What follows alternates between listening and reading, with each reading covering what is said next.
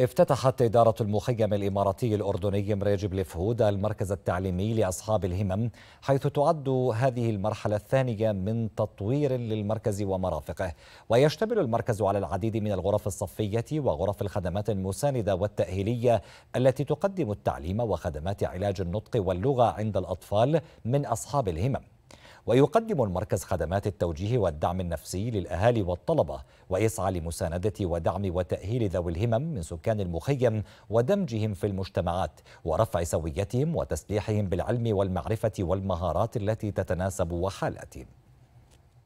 يشكل اليوم شيء مهم وشيء عظيم بالنسبة لأصحاب الهمم كجزء أساسي من أفراد المجتمع.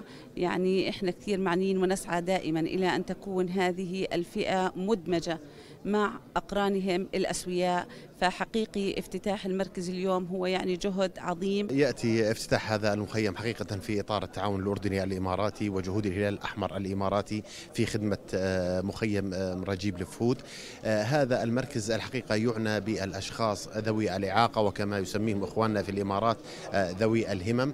الحقيقة يأتي هذا المركز للتخفيف من عناء هذه الإعاقة على هؤلاء الأشخاص وعلى ذويهم. وأيضا تمهيدا لدمجهم في مدارس مدارس آه، وزارة التربية والتعليم في داخل هذه المخيم حتى يتمتعوا بحقوقهم مع أقرانهم في مثل هذه المدارس. أصحاب الهمم هم جزء لا يتجزأ من نسيج المجتمع المخيم ويفترض أو إحنا من واجبنا أو واجب علينا أن ندعم هذه الفئة.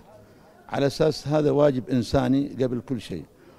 والهلال الأحمر ونحن كإدارة مخيم فخورين طبعا بما تحقق خلال المرحلة هذه.